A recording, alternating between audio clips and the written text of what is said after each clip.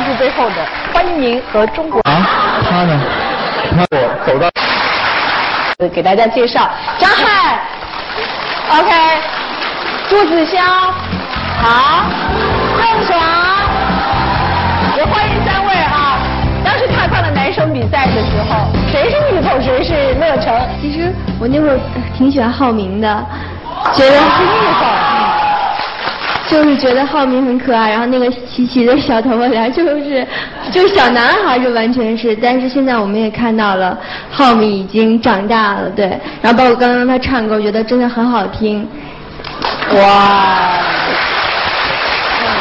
魏晨，我也是很支持你的，对。因为有这么多橙子在，对不对？呃，我记得有一场是魏晨吧？嗯。呃。是终终极 PK 的时候，然后他那场是被 P 掉了。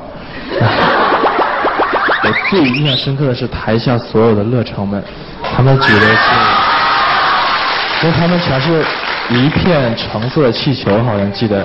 我觉得那个时候魏晨并没有走，就是他整整的是一直一直一直，就是陪伴在，就是生活在乐成的海洋里。我觉得是这样的。看到魏晨，然后我就感觉这个男孩很有亲和力，就是特别的可爱。然后有一个歌声打动了我，就是我在看电视的时候就听到了。I do your s a 对，当时呢我就想知道，这这首歌这么好听是谁唱的？然后最后知道是俞灏明。对。最开始对魏晨，就是那个大灯。